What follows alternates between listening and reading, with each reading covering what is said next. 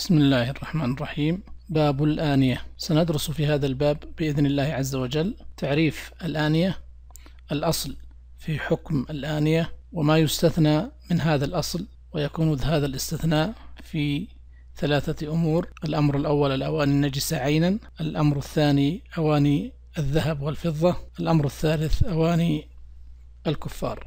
تعريف الآنية. الآنية جمع إناء وهو الوعاء الذي يوضع فيه الشيء ويأتي به الفقهاء في باب الطهارة لأن الوعاء هو الذي يوضع فيه الماء وهذا الوعاء له أحكام تخصه وبالتالي لا بد من معرفة هذه الأحكام.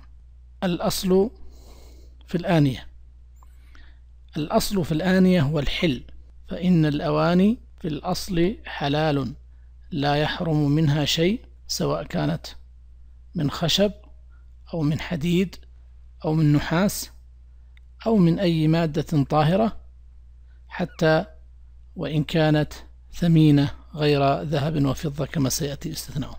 والدليل على هذا الحكم أن الأصل في الآنية الحل عموم قول الله عز وجل هو الذي خلق لكم ما في الأرض جميعا ومن ما خلق سبحانه وتعالى وأوجد الأواني التي يستخدمها الناس. ما الذي يستثنى من هذا الحكم؟ إذا كان الحكم هو الحل فإنه يستثنى من ذلك عدة أمور. أولا الأواني النجسة. والمراد بالأواني النجسة التي عينها نجسة يعني المصنوعة من شيء نجس. كالمصنوعة من جلد الكلب أو الخنزير أو من آه، مواد هي نجسة في ذاتها فيحرم استخدامها هذا الحكم حكم الأواني النجسة عينا يحرم استخدامها سواء في العادات أو سواء في العبادات. جلد الميتة له حالات. الميتة هي ما ماتت حتف أنفها دون ذكاة شرعية تسمى ميتة. ماتت منخنقة أو ماتت آه، بمرض أو ماتت بترد أو أي نوع من الأسباب التي أدت إلى أن تكون ميتة. فالميتة هي التي لم تذكى ذكاة شرعية. جلد الميتة نجس لأن الميتة نجسة.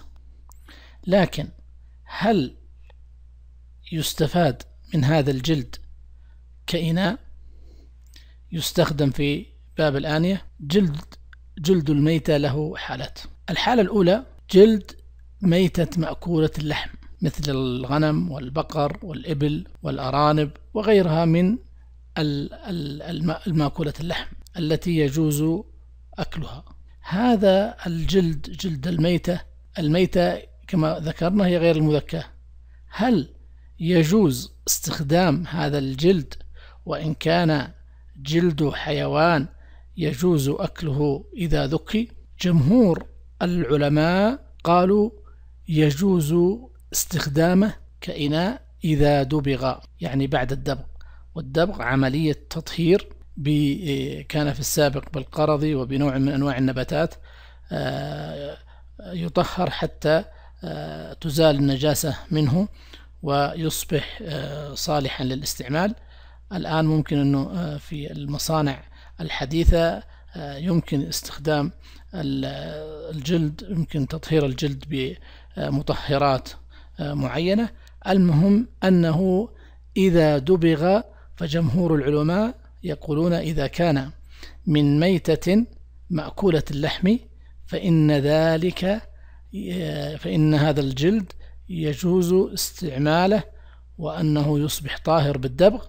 واستدلوا على ذلك بقوله صلى الله عليه وسلم في حديث ابن عباس إذا دبغ الإهاب فقد طهر. وهذا رواه مسلم.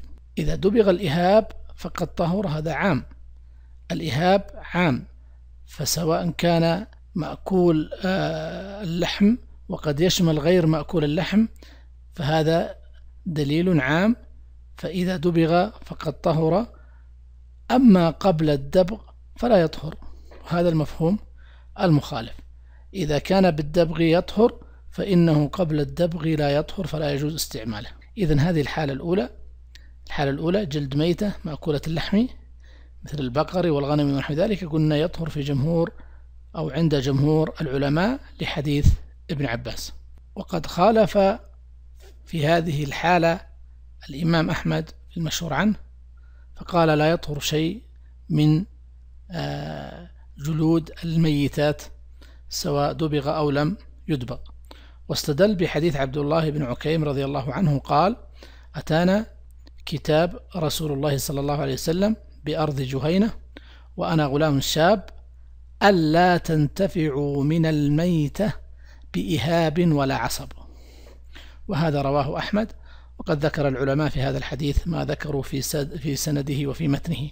قال ابن عثيمين والراجح رأي الجمهور أن الجلد مأكول اللحم جلد ميتة مأكول اللحم أنه إذا دبغ فإنه يطهر ويجوز استخدامه كإناء. استدل أو أيد ابن عثيمين رحمه الله رأي الجمهور بحديث ميمونة رضي الله عنها أنه مر برسول الله صلى الله عليه وسلم رجال من قريش يجرون شاة فقال لهم رسول الله صلى الله عليه وسلم لو أخذتم إهابها قالوا إنها ميتة.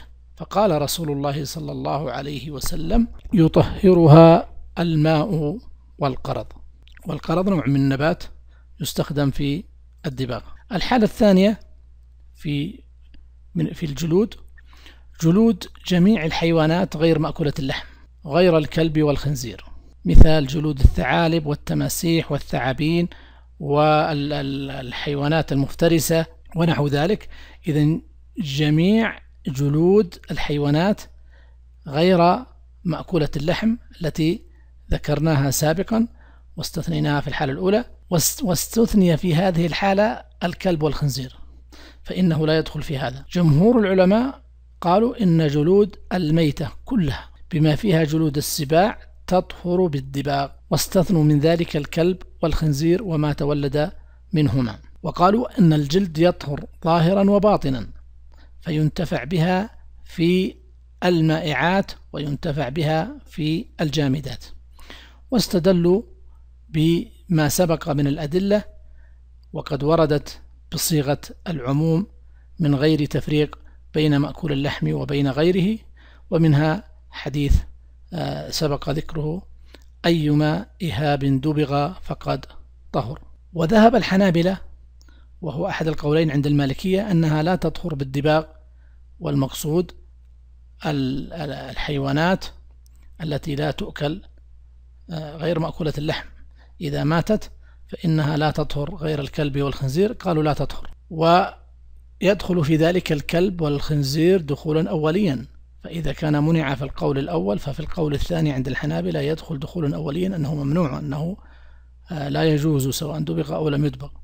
واستدلوا بأن النبي صلى الله عليه وسلم نهى عن جلود السباع. قال ابن عثيمين والراجح هو قول الجمهور القائلين بطهارتها بعد الدبغ لعموم الحديث. الحالة الثالثة جلد, جلد الكلب والخنزير ذهب جمهور أهل العلم إلى أنها لا تطهر بالدباغ لأنها نجسة مغلظة. فالنبي صلى الله عليه وسلم أمرنا إذا ولغ الكلب في الإناء أن نغسله سبعا إحداهن بالتراب. فكيف يطهر جلده بالدباغ إذا الراجح في هذا ما ذهب إليه الجمهور أنه لا يطهر جلد الكلب والخنزير لا بالدباغ ولا بغير الدباغ لأنه رجس كما قال سبحانه وتعالى في الخنزير أو لحم خنزير فإنه رجس. وهنا يعود على الخنزير بكل أجزائه اللحم والجلد فهو عام فيه.